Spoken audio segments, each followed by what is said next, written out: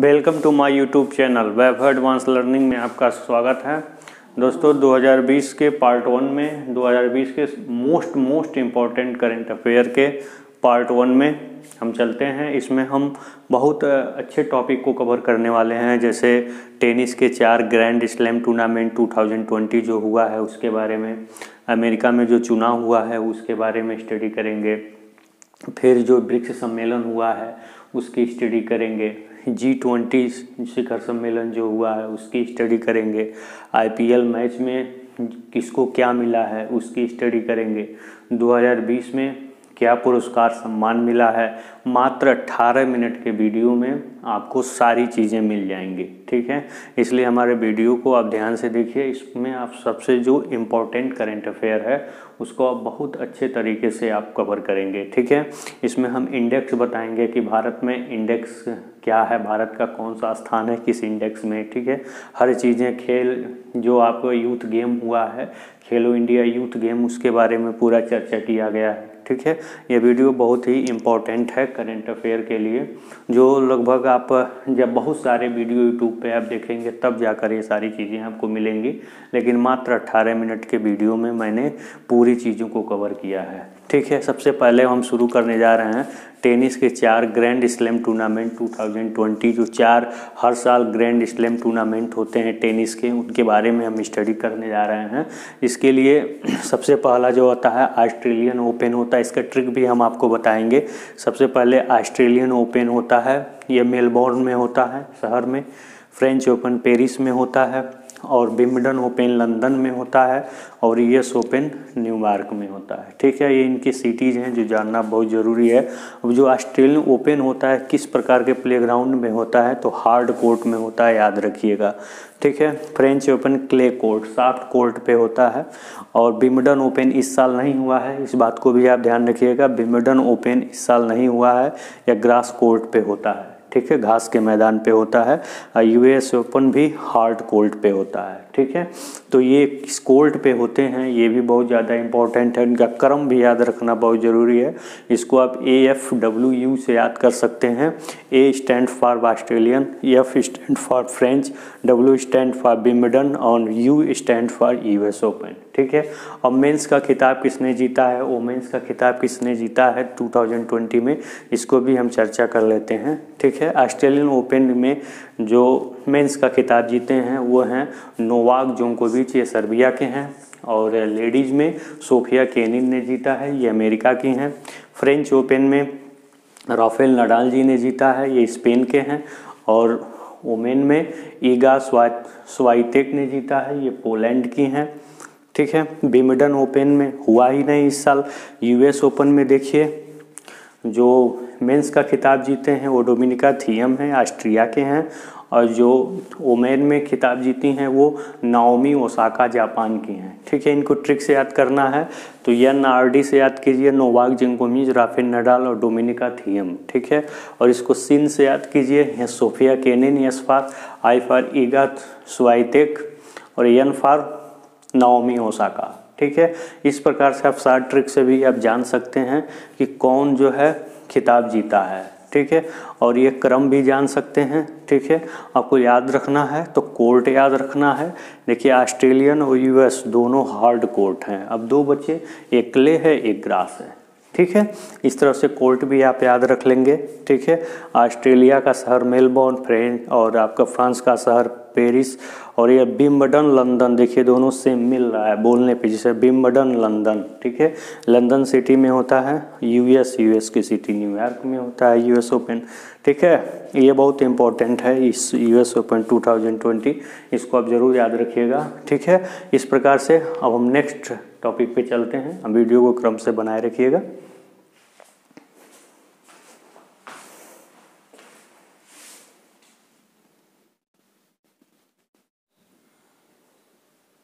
अब हम इंडेक्स 2020 के इम्पोर्टेंट इंडेक्स का हम केवल यहाँ चर्चा करेंगे कि क्या स्थिति है भारत की केवल, ठीक है? ज़्यादातर कंपटीशन में यही पूछता है कि भारत का क्या स्थान है, ठीक है? जिसे अंतर्राष्ट्रीय स्तर पर यह बनाया जाता है कि किस देश में किस प्रकार की स्थिति किस नंबर पे है, ठीक है? अंतर्राष्ट्रीय स्तर पर एक इंडेक्स तैयार किया जाता है, जिसमें देश की स्थितियों को नंबर के माध्यम से दिखाया जाता है। ठीक है, जैसे विश्व प्रेस स्वतंत्रता सूचकांक में हम भारत का स्थान इम्पोर्टेंट हम केवल इंडेक्स का यहाँ स्टडी करेंगे तो विश्व प्रेस स्वतंत्रता सूचकांक में भारत का स्थान 142 है। ग्लोबल इनोवेशन इंडेक्स में भारत का स्थान कितना है? 48 है। वैश्विक आर्थिक स्वतंत्रता सूचकांक में भारत का स्थान 105 है और विश्व प्रतिस्पर्धा प्रतिस्पर्धा सूचकांक में भारत का स्थान 43 है और वर्ल्ड हैप्पीनेस सूचकांक में भारत का स्थान 144 है। ठीक है? ये बहुत इंपॉर्टेंट इंडेक्स हैं जिसमें भारत का कौन सा स्थान है किसमें ये बताया गया है। ठीक है? ये बहुत इंपॉर्टेंट है, इसको आप ज़रूर अच्छे तरीके से पढ़ लीजिए और इसका स्क्रीनशॉट ले लीजिए। और फिर मैं अगले पे चल रहा हूँ। हम इम्पोर्टेंट 2020 के करेंट अफेयर में पार्ट वन को हम लेकर चल रहे हैं। ठीक है? ओके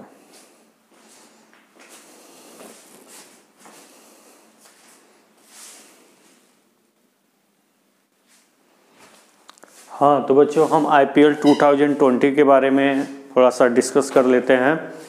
जो जब ज़्यादा इंपॉर्टेंट है, मैं वही चीज़ यहाँ डिस्कस करूँगा। इसमें विजेता टीम कौन थी? मुंबई इंडियंस। इसके कप्तान कौन थे? रोहित शर्मा। उप विजेता टीम कौन थी? दिल्ली कैपिटल्स। इसके कप्तान कौन थे? श्रेयस अय्यर। देखिए, इसमें जो man man of the match हैं, हुए हैं, वो हुए हैं ट्रेंट बोल्ट। और इनमें जो है पर्पल कप किसको मिला है? कैगिसो रबाडा को मिला है और ऑरेंज कप किसको मिला है? लोकेश राहुल को मिला है। ठीक है? इतना पॉइंट बहुत ही इम्पोर्टेंट है। ठीक है?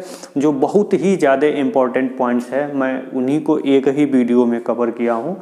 इसके बाद मैं आपको बताऊँगा अमेरिका का जो चुनाव हुआ है उसके बारे में इलेक्शन ऑफ़ अमेरिका के बारे में डिस्कस करेंगे। उसके बाद हम ब्रिक्स सम्मेलन जो हुआ है उसके बारे में डिस्कस करेंगे। उसके बाद जी ट्वेंटी जो सम्मेलन हुआ है उसके बारे में इम्पोर्टेंट चीज़ें हम यहाँ डिस्कस करेंगे।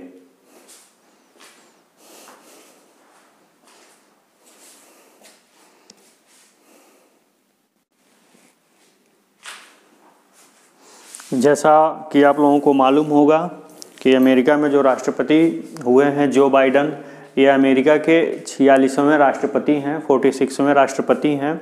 इनको टोटल 306 वोट मिले हैं। जीतने के लिए 270 वोट चाहिए। इनको कितने मिले हैं? 306 वोट मिले हैं। ये डेमोक्रेटिक पार्टी से हैं। इनका चुनाव चिन्ह क्या है? गधा है। ये दो बार बराक ओबामा के समय में उपराष्ट्रपति रह चुके हैं। ठीक है? यह बहुत इंपॉर्टेंट चीज़ है। उसके बाद जो इनके विरोधी थे, वो थे डोनाल्ड ट्रंप। इनकी जो है हाल हो, हार हुई है। डोनाल्ड ट्रंप की हार हुई है, ये रिपब्लिकन पार्टी से थे। इनका चुनाव चिन्ह हाथी था, ये 232 वोट मिले हैं। अमेरिका में जो ये सीटें होती हैं, इन सीटों को हम इलेक्ट्रोल कॉलेज बोलते हैं। ठीक है? इनको कितना मिला है? मात्र 232 वोट मिला है, इनको 306 वोट मिला है। और जीतने के लिए कितना चाहिए? 270 वोट चाहिए। ठीक है? तो ये बहुत इंपॉर्टेंट चीज़ है, इतना आप ज़रूर जानिए।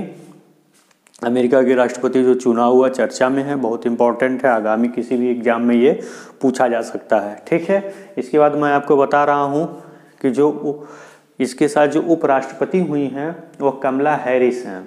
क्या हैं? कैमला हैरिस हैं। इनके बारे में हम थोड़ा डिस्कस कर लेते हैं, क्योंकि ये भी बहुत इम्पोर्टेंट है।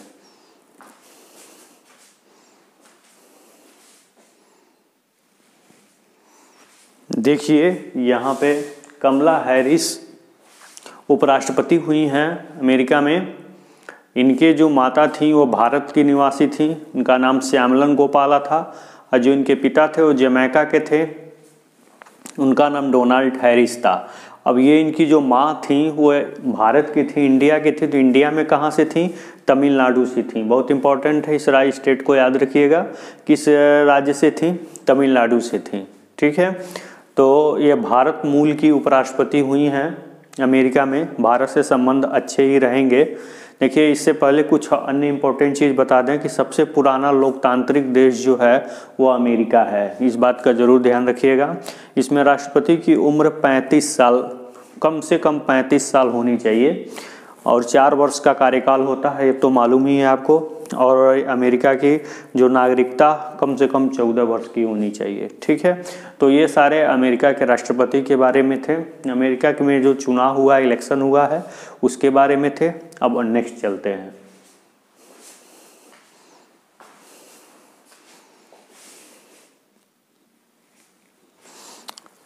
अब देखिए, जो ये ब्रिक्स सम्मेलन 2020 में हुआ है इस ब्रिक्स सम्मेलन के बारे में कुछ खास बातें आप जान लीजिए। आप जानते हैं ब्रिक्स सम्मेलन में पाँच देश हैं। ये जो सम्मेलन हुआ है, ये इसका थीम क्या है, पहले आप ये देखें। वैश्विक स्थिरता, साझा सुझाव, नव प्रवर्तक विकास। ठीक है, अभिनव विकास।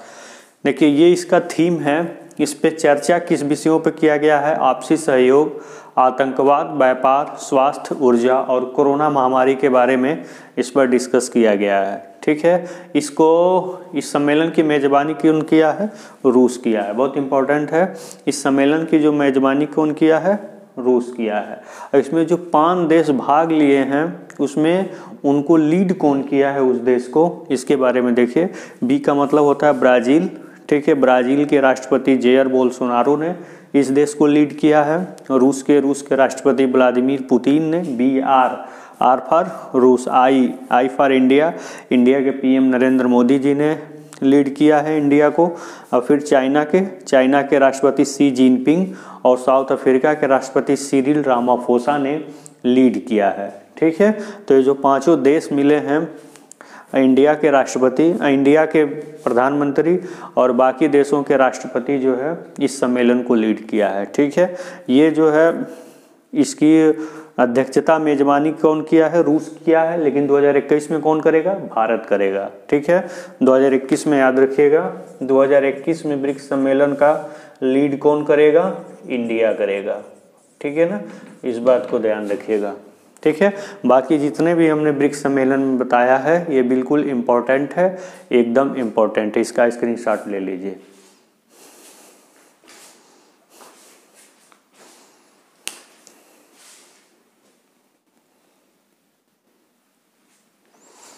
हाँ तो बच्चों जी ट्वेंटी शिखर सम्मेलन के बारे में एक शार्ट वीडियो देख लीजिए।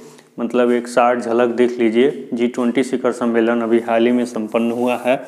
इसकी मेज़बानी सऊदी अरब ने किया है आपकी बारी 2020 में। 2021 में इटली करेगा 2022 में इंडोनेशिया करेगा और 2023 में भारत करेगा। ठीक है ना?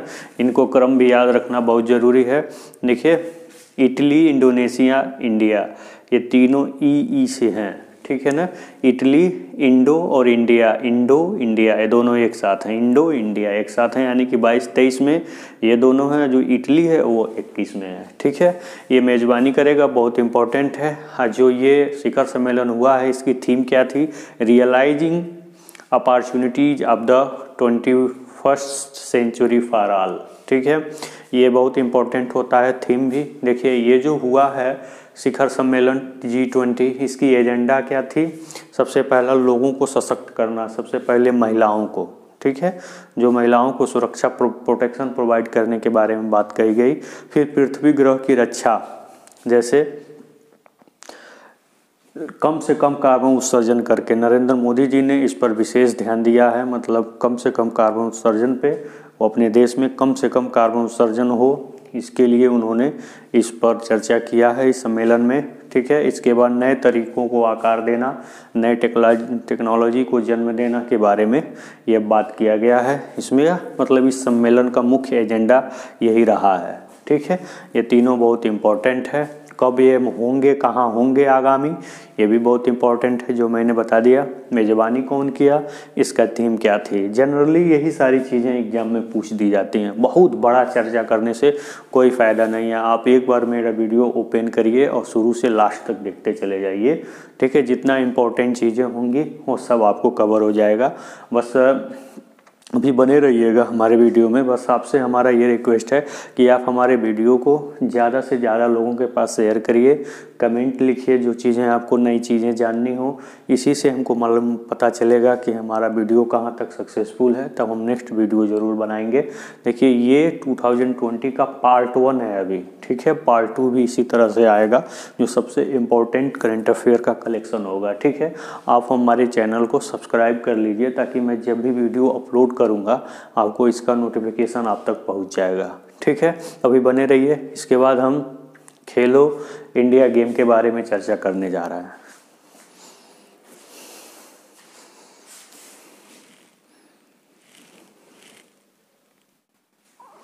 हाँ तो बच्चों, अब हम स्टडी करने जा रहे हैं खेलो इंडिया यूथ गेम के बारे में, ठीक है? ये खेलो इंडिया यूथ गेम जो 2020 में अभी संपन्न हुआ है, ठीक है? ये कहाँ हुआ है?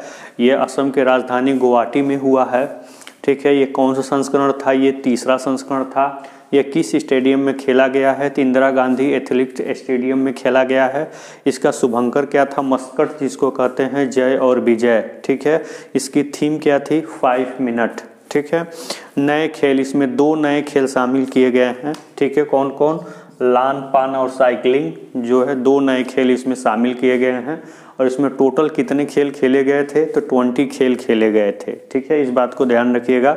इसमें टॉप राज्य कौन कौन से हैं? महाराष्ट्र है, अठहत्तर गोल्ड मेडल के साथ, उसके बाद हरियाणा है, अड़सठ गोल्ड मेडल के साथ, उसके बाद नई दिल्ली है थर्टी नाइन गोल्ड मेडल के साथ। ठीक है? अगर आपसे ये पूछे कि केंद्र शासित कौन सा राज्य पहले स्थान पे है तो आप नई दिल्ली बताएँगे। ठीक है? तो ये था सबसे इम्पोर्टेंट मसाल धावक, इसको मसाल धावक मतलब मसाल को लेकर के इसमें धावक का काम कौन किया? हीमा दास ने किया। ठीक है ना? ये असम की हैं। तो ये मैं आपको बताया, जो खेलो इंडिया यूथ गेम 2020 में हुए हैं, उसके बारे में एक ब्रीफ थ्योरी ठीक है? अब हम आगे कुछ सम्मान और पुरस्कार के बारे में अध्ययन करेंगे।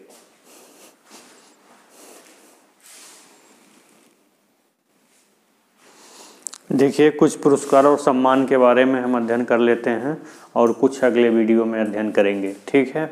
देखिए, नोबल पुरस्कार 2020 एक इसको मिला है इमैनुल और जोनिफर को मिला है, दोनों अलग अलग साइंटिस्ट हैं, केमिस्ट हैं आप कह सकते हैं, ठीक है? ये रसायन के क्षेत्र में इन दोनों को इस साल का नोबल पुरस्कार मिला है इमैनुल और जेनिफर को, ठीक है? राजीव गांधी खेल रत्न पुरस्कार 2020 में देख लीजिए कौन कौन है। रोहित शर्मा है क्रिकेट से, मनिका बत्रा हैं टेबल टेनिस से, विनेश पोगाट हैं कुश्ती से, रानी रामपाल हैं हॉकी से, मरियम्पन थंगावेलू पैरा एथलीट से हैं। इन लोगों को राजीव गांधी खेल रत्न पुरस्कार मिला है 2020 में। फिर देखिए इस साल भारत रत्न नहीं दिया गया है किसी को। भारत रत्न के बाद किसी भी क्षेत्र में उत्कृष्ट प्रदर्शन करने वाले को जो है पद्म विभूषण, पद्म भूषण और पद्मश्री पुरस्कार दिया जाता है। ये पुरस्कार दिया गया है राष्ट्रपति जी के द्वारा। पद्म विभूषण जो है सात लोगों को, पद्म भूषण सोलह लोगों को और पद्मश्री एक लोगों को दिया गया है।